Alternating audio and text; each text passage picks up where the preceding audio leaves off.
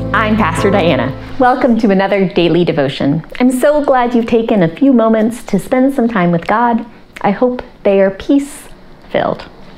This week, we've been talking about what it means to practice peace and how we can cultivate peace through gratitude and within us, and that God's peace is a little bit different than the absence of conflict or just being tranquil. Today, our scripture lesson comes from the book of Hebrews, where the author writes in chapter 12, verse 14 Pursue the goal of peace along with everyone and holiness as well, because no one will see the Lord without it. Pursue the goal of peace along with everyone. You know, peace is a something that can happen to everyone.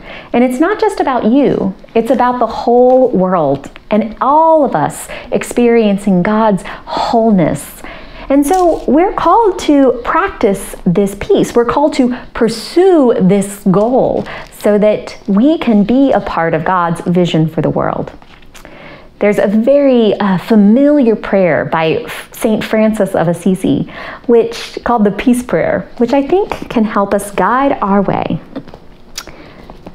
St. Francis writes, Lord, make me an instrument of thy peace. And then he goes on, and we'll pray that at the end. But this prayer is beautiful because it tells us what we can do to be a part of God's peace in the world, ways that we can practice peace in this chaotic and divisive and uh, anxious world. So we can sow love where there might be hatred. Where there is injury, we can pardon and forgive. Where there's doubt, we can strive for faith. Where there's despair, we can practice hope. Where there's hard times, we can be light in those places. Where there's sadness, we can find joy even in those midst.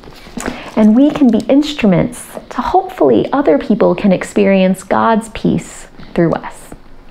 And so consider how you can practice peace in this world. As we prayed this prayer, what what verse is standing out to you that God is calling to you to maybe practice that today? And how can you be an instrument of peace? Will you pray with me? Lord, make me an instrument of thy peace. Where there is hatred, let me sow love. Where there is injury, pardon. Where there is doubt, faith. Where there is despair, hope. Where there is darkness, light. Where there is sadness, joy. O Divine Master, grant that I may not so much seek to be consoled as to console, to be understood as to understand, to be loved as to love. For it is in giving that we receive, it is in pardoning that we are pardoning, pardoned, and it is in dying that we are born to eternal life. Amen. Thank you so much for joining me. I pray that as you go forth and practice peace in your life, as you pray that God makes you an instrument of God's peace, that your mind and heart be guarded in Jesus Christ, and that you be filled with a peace that exceeds all understanding.